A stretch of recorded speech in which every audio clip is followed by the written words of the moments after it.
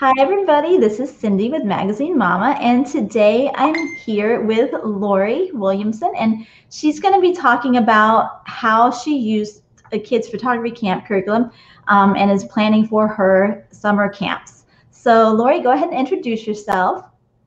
Hi, I'm Lori um, Williamson. I'm the owner of Kids with Cameras in Charlotte, North Carolina. Okay.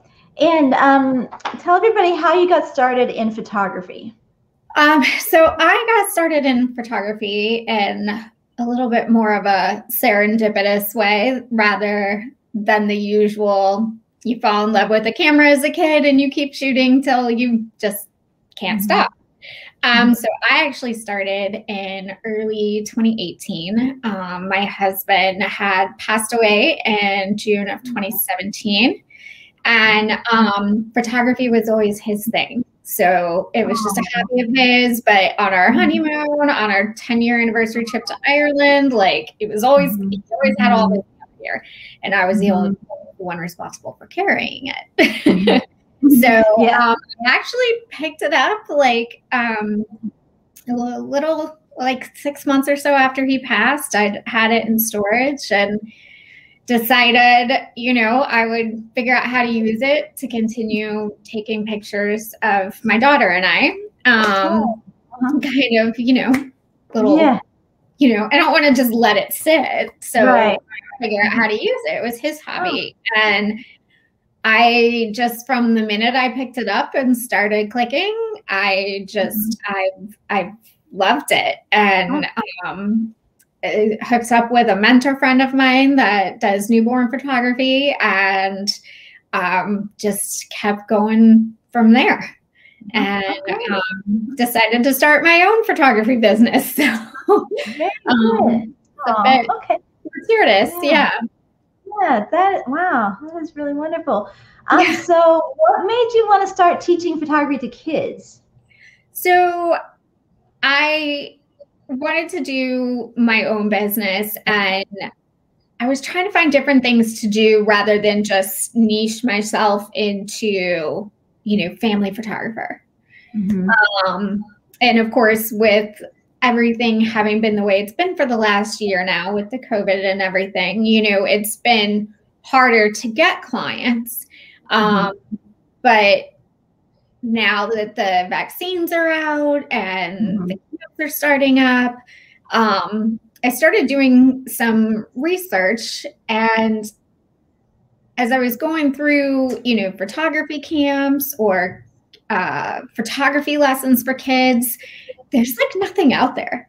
Like mm-hmm. there's pottery for kids and painting and you know adventure camps, you know, where they go hiking and stuff, but there's nothing that teaches kids photography. And there are photography workshops and classes for adults, but mm-hmm. not kids.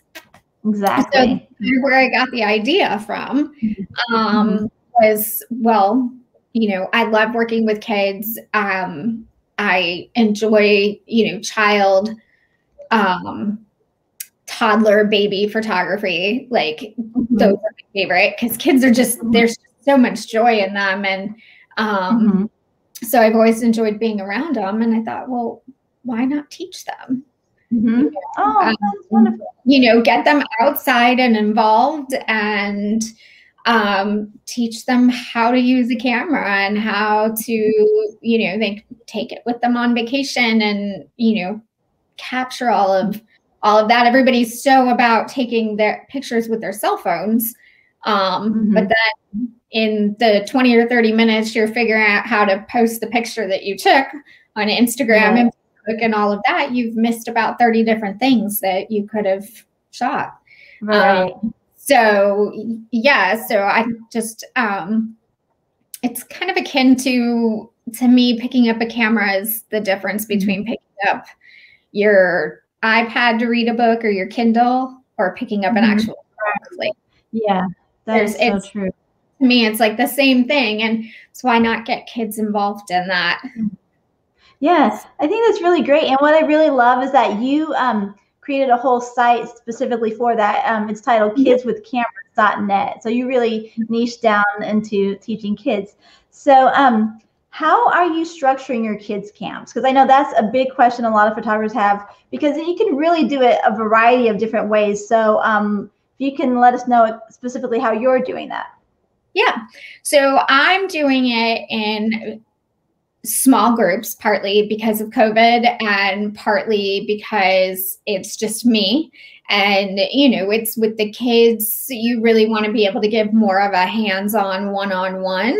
So, mm-hmm. kind of the idea of teaching a camp of 10 kids and everybody's asking questions and, you know, gets a little. So, I'm keeping mine very small. Um, so, How many students? Right now, it's four. Um, okay as restrictions release with COVID, I may up to like six. But mm-hmm. uh, since we'll be spending some time outside and doing stuff, I just figure it's easier to keep track of kids mm-hmm. not falling down a well or a grate. so I'm just doing very small. And then yeah. what I've done is so there's four kids per group. It's a Monday through Friday camp. In the morning, I have younger kids, like seven to 10 year olds. And then in mm-hmm. the afternoon, um, I think morning session is from nine to noon, and that's for younger mm-hmm. kids. And then mm-hmm. in the afternoon, from one to four for 11 to 14 year olds. Uh huh. Okay, great. Yeah. And is that Monday through Friday? Is a five day camp, or are you spreading it out over several weeks? Nope, I'm doing a five day camp. Um, yeah, five day camp. Okay. How much right. do you charge per student? um, per student, I do 240. Um, okay. And I researched other camps in the area. Like I said, mm-hmm. there's no photography camps, so I kind of had to go off of like with the different art camps, right? Like a half day camp. Right. Um, and then right now, um, as an introduction, I'm doing um, 10% off through April okay. um, 30th. So yeah. Sign up by the end of April and you before the end of April and you get 10% off. Very um, good. So that's, that's listed on the website when you go there. And, okay. And how are you advertising for it or um, reaching out to clients or how are you getting students? So advertising has been a little bit of a challenge because we can't advertise in some of our typical ways that we would normally advertise right. like in person. Mm-hmm. Um, so mine has been a lot of um, just being on top of my website that was the biggest thing was creating the website because the the the kids that have signed up so far i include in my form on the website the intake form how did you hear about us and the two that i've gotten the most feedback on are internet search mm-hmm. and then um, I've also, the other ones is I've found local like kids activity sites, um, uh, Fun for Charlotte Kids or Kids Out and About Charlotte, and they mm-hmm. offer um, free or low cost um, uh-huh. advertising options for um, kid based businesses. Oh, um, very um, nice. And like they that. post like their summer camps. Um, you okay. can go and put the times for your summer camp and they put them on the calendar. Um, mm-hmm. You can, you know, it'll link to your website. Um, so yeah, yeah, so you can do stuff like that. And then I've gone a lot into like the the Facebook groups is a little bit more challenging mm-hmm. in Facebook groups because so many Facebook groups are about like you you can't plug your business and all of that. So I've kind of done it more around like asking questions. Is this something people would be interested in? And then they're kind of like, yeah, let me know.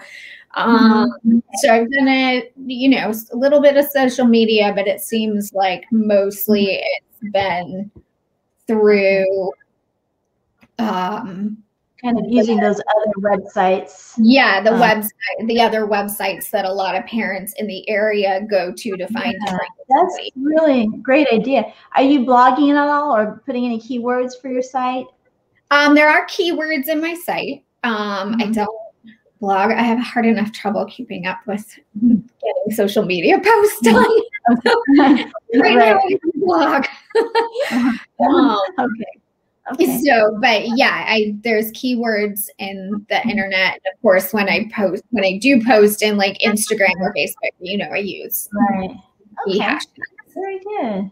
Okay. Yeah. And um, and then let me see. I think that's the let the next question I have is um, what advice would you give to photographers who may be watching and they may be interested in teaching photography class to kids or adults, you know, and they might be nervous what would you say? Like, has it helped your business any to get clients, or I mean, just give advice, I guess. Um, I think the biggest advice is, um, I mean, I don't, I haven't gone into teaching adults yet, so I have, I can't really speak to that. But as far as the kids, I mean, I don't think you should be nervous. I mean, they're looking up to you. Kids are by nature curious. Um, and I think a lot of it is just creating a fun atmosphere, you know, using your personality, using the tools that you've created, you know, that you've created um, to help us. Um, and just have fun with it. Just, you know, I love the scavenger hunts that are included, the, you know, the word finds, the games. I actually have my little memory oh, yeah. Um, and we also have the Three Kings cards. Mm-hmm. So that is where I actually, I think those are in the teaching kids curriculum. Right. That's what I was going to ask. Which one you're using? Are you using both the camp and the kids? I am. Okay. So I'm using the kids class because I, I love these. Mm-hmm. Some of the things that are in worksheets that are included in the kids, and then I'm mm-hmm. translating them over into the camp as well.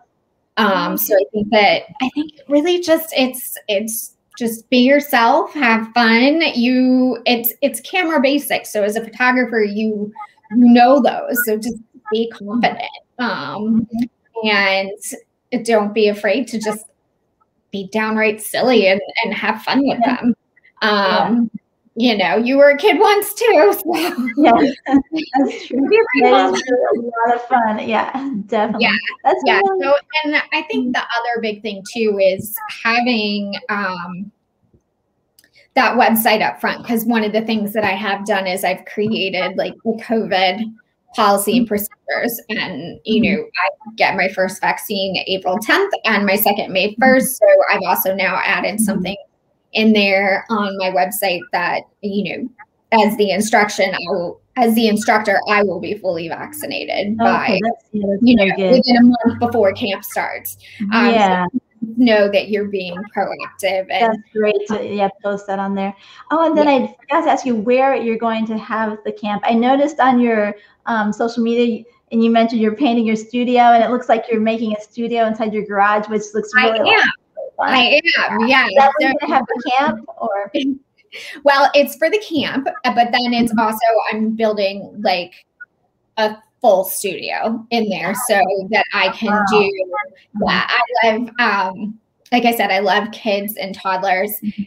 And um, so I kind of want to do that also. Um, mm-hmm. so part of the garage is going to be a full studio with lights, backdrop, everything, which is fun because then I intend on using that also to do workshops with kids. So you can teach yes. them studio yeah. lighting and let them pose each other and yeah. Um, yeah. take each other and just make it more like really interactive.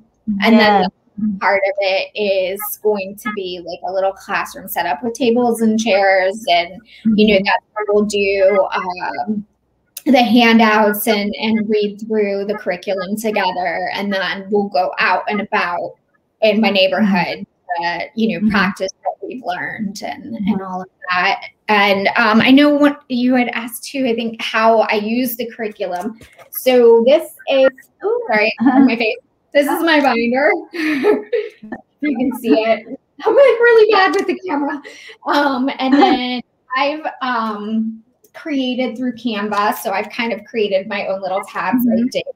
Oh, very good. Oh, nice. Uh-huh. Yeah, so this is my binder. So I've like put them all in sleeves. I'm so OCD. Uh-huh. Um, uh-huh. And then, yeah, and then I'll be able, you know, the kids will have it in there. And so I go through the whole binder, and then each day they'll get their handouts and stuff like uh-huh. that. Um, oh, I um, love and, it. Yeah. Yeah. Then that way they can take the handouts home. Um, they can mm-hmm. either create their own little binder and make a little portfolio. Um, the other thing we're going to do in the studio is probably do, I think I might do like a small gallery wall that throughout oh, the week of the camp, the kids can post their pictures up oh, on nice. the wall. Oh, oh yeah. that'll be a lot of fun. Yeah. Yeah. Oh, that's exciting. Um, yeah. I think my other advice would be one of the things I've done is if you have a local um, photography store that sells like mm-hmm. gear and equipment and all of that, partner mm-hmm. with them. Um, because I've done that with my local camera store, and they actually mm-hmm. have a poster of my flyer in their store, oh, and they have my uh-huh. flyers. Um, uh-huh. Because again, they don't teach stuff like this for kids, so right. I conflict. Right.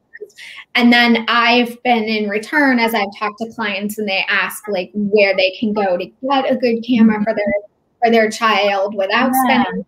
You know, I refer them to my you know my camera store um, they do um, they have used cameras and stuff, so it's not mm-hmm. like a huge expense. Right. You know, right. so um, definitely partner with some of your local yeah. as well.